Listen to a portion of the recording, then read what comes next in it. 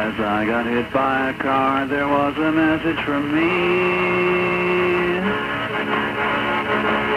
As I went through the windshield, I noticed something.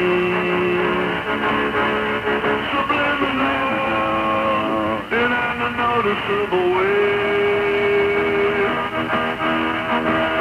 Important, important,